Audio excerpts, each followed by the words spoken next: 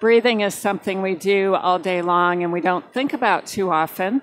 Uh, we also don't do it very well. A lot of us breathe very shallowly up, um, so we're just using the top part of our lungs and we're not using all that lung space that's available to get oxygen into our muscles, um, to aid in digestion, and also a big thing to help the brain.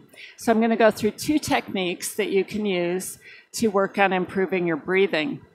The first is belly breathing, and the best way to do this to start with is laying on your back with your hands on your stomach.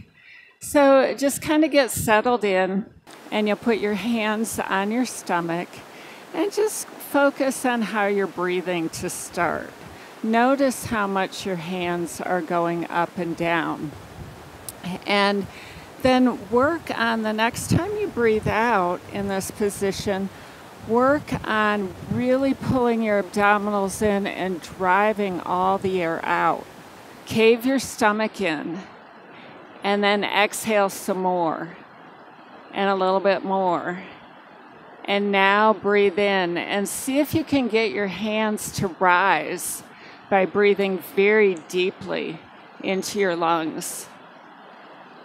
And again, so you're breathing out, caving in through the stomach, letting your hands come down, and then breathe in, and your hands should rise.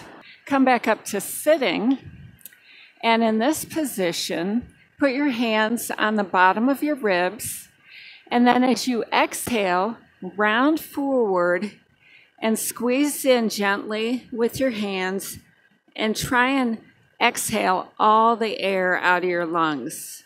Exhale some more and a little bit more.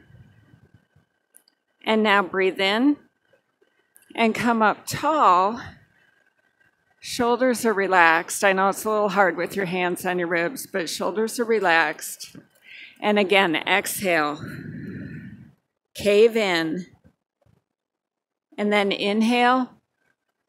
And you should feel the ribs come out. And the ribs aren't just coming out to the sides, you're expanding front and back. So you're really getting this lower breathing, really getting a lot of oxygen in to help with your muscle movement, your digestion, and your brain.